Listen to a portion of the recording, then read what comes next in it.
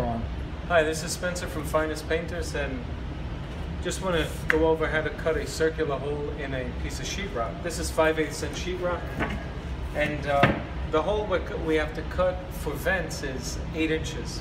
So I took a piece of cardboard from a box and cut it from side to side 8 inches. And right in the middle of it I put a screw. So now I'm going to take the template and screw it into this piece of sheetrock.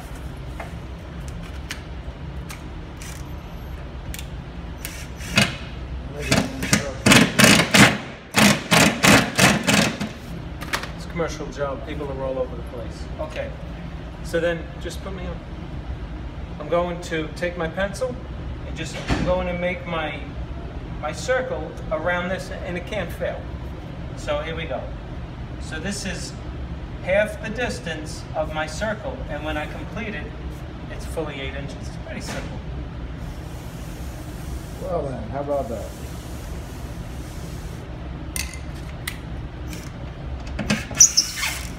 Okay, and there's the circle. It's actually came out perfect, better than these two. So again, you measure your diameter of your circle. You have to measure it accurately. If you're off, no good. So you measure the diameter and then you cut anything. It could be a piece of paper. I chose a piece of cardboard. This is eight inches. Right in the middle of it, you put your screw, you screw it into the sheetrock, and then you put your pencil outside and you just go around it. Okay, again, this is Spencer Colgan from Finest Painters. Thank you. If you like this video, click like and subscribe. Thank you. Thanks, buddy. You like that? So what